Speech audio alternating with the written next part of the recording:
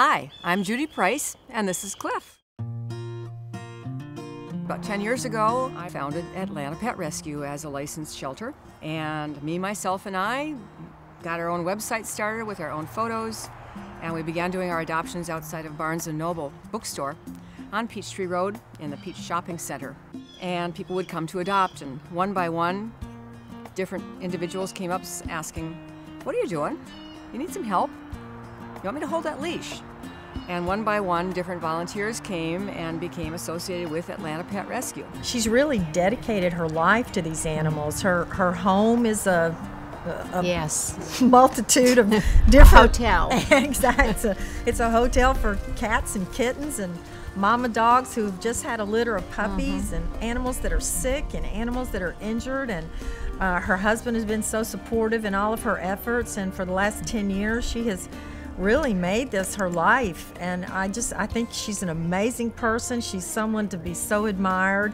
And I just can't say enough good things about what she's done and how she's grown the organization. It started, you know, very tiny and out of her home and until we, we've reached the shelter we're in now on 14th Street and, and hopefully mm-hmm. looking to move uh, into a larger facility because we, we really need the space. There's so many more mm-hmm. animals we could save if mm-hmm. we had more space to know that we are saving the lives of thousands of dogs and cats every year from tremendous efforts from lots of people in lots of different locations is very fulfilling, I think, for all of us because the fate of these animals uh, is, is not good. And we're able to go in and take these totally adoptable dogs and make sure they're healthy and we're able to attract so many people onto our very popular website and bring them in and interview them. And, and it's just, it's tremendous to see how happy the families are when they get the dog and, and how happy the dog is to get a family. It's, it's just tremendous.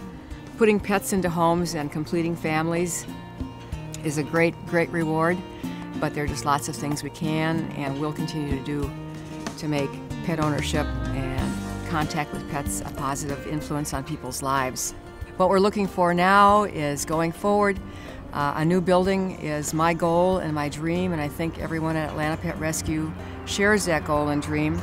Anything that we look at that meets our needs um, is expensive.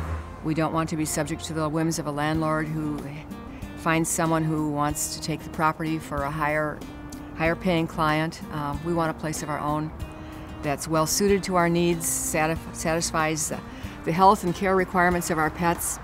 And another element in it that I didn't mention before is we want to provide low-cost spay neuters for the public and have our own freestanding vet clinic housed under our roof.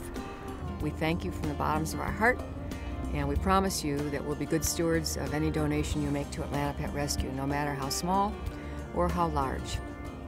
And Cliff thanks you too. This is Beaker. This is my, oh, I'm so, I I'm so excited today to take him home. This is to be my bestest friend. Say hey, Beaker. Say hey. Yeah, we're to have a wonderful time. Thanks. I love these people so much. They are just awesome. So if you need a dog, you need a pet, need a loved one, come down here and get your dog.